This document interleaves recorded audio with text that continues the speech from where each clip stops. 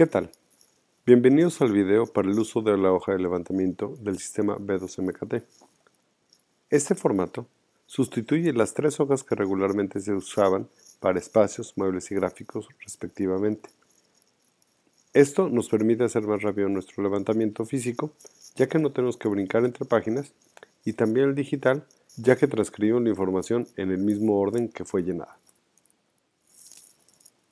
En primer lugar, llenamos los datos de levantamiento, como son la sucursal, la fecha y el usuario, que normalmente es nuestro correo electrónico. Seguimos con el número de contenedor que colocamos en el plano y la clave del objeto que encontramos en el catálogo correspondiente. Ahora llenamos el tipo de objeto que puede ser un aparador, un mueble, un gráfico o un espacio usando solo la primera letra mayúscula de cada uno. De la misma manera, llenamos el área de tienda, que puede ser letrero, aparador, piso, gabinete o especiales, utilizando la primera letra de cada uno de estos.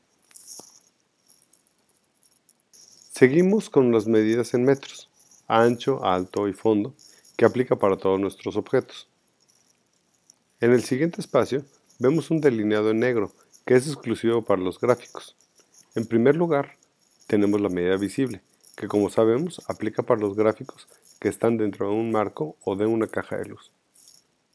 Seguimos anotando si el material es rígido, como un banner de coroplast o trovicel, o flexible, como telas, pósters, viniles, estirenos o carteles que pueden enrollarse. Marcamos el tipo de comunicación, comunicación al cliente, comunicación al empleado, informativo, institucional o algún otro que encontremos.